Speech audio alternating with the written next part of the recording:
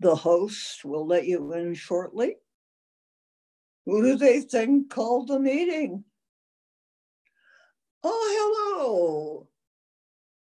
Hi. Oh, hi.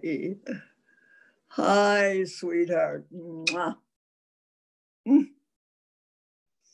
Looking at all your beautiful faces, I'm reminded of our chaotic attempt at a Seder last spring. We had our own four questions. Are we on? Can you hear me? Can you see me? And of course, is this working? Well, is it? Good. So, why the meeting and why the mute button? And no, you don't have to dial 911.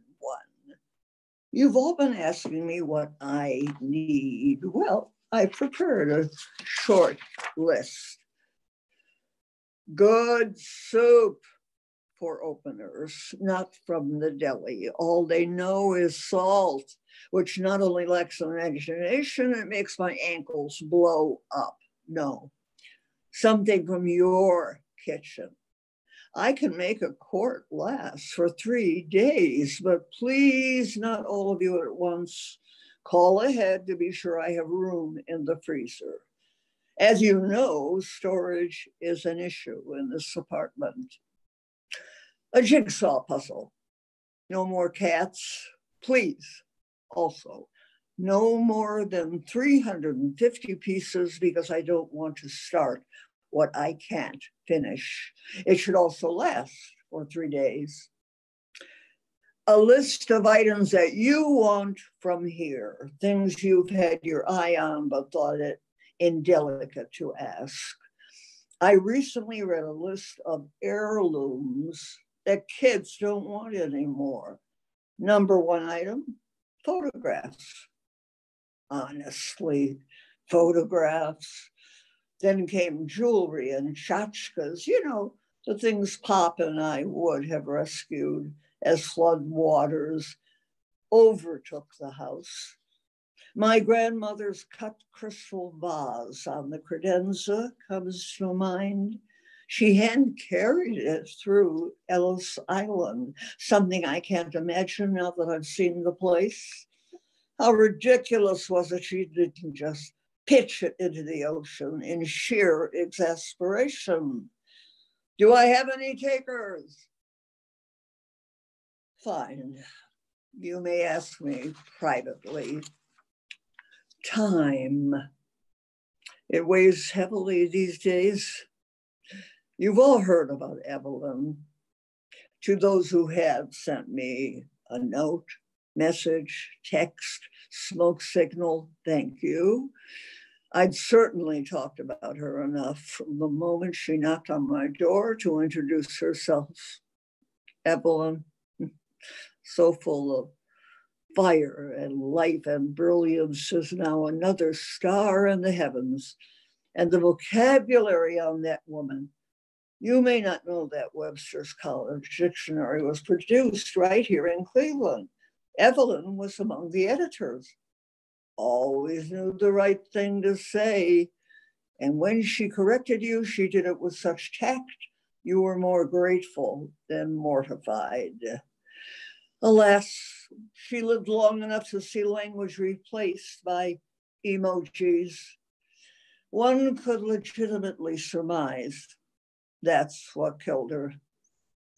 As much as I grieve her loss, I'm positively dumbfounded at how the world has ignored her passing. It's like 9 11 all over again, this pandemic, where deaths are now acknowledged with 150 words. 200 for the more celebrated. Anything longer than the short form obituary now costs a week's salary. Thank God they recorded the rabbi's eulogy, so her kids at least have some record of what was said. But a Zoom Shiva, please don't do that for me. What else? A challenge I need something to do during this dreadful pandemic. Somebody dare me to write my memoir, or better yet, make a quilt. Good. You're laughing. Never did figure out which end of the needle to thread. A clear conscience. Michael, are you texting? Put that away right now, or I'll leave all my china and somewhere to you. Where were we? Ah, clear conscience, which leads to being forgiven. Evelyn used to say, forgiveness should come after guilt in the dictionary, not before. She said how much time we waste judging people instead of understanding them. Yet another alphabetical mix up, only she said it more eloquently because that was her way. What I didn't tell you, because I couldn't at the time, was that Evelyn was in trouble well before the stroke that killed her. She'd been losing her words, which made her furious. In particular, it made her short with her children, who, by the way, never failed her for one minute. She would rage on about what they did or didn't say or do. If I didn't know better, I might have even believed her. But then this virus hit with such gale force. It seemed to strip away her rage. And here's the odd thing it calmed her. She didn't complain like the rest of us about her life, her care, her confinement, because let's face it, a studio apartment can get positively stifling.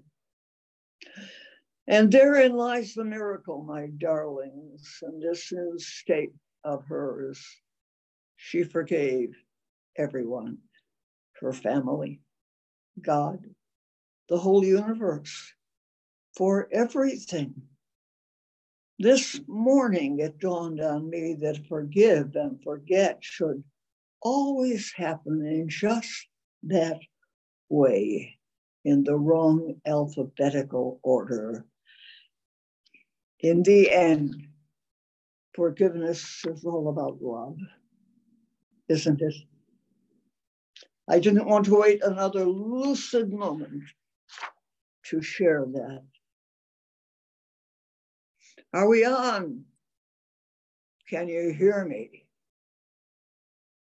Can you see me?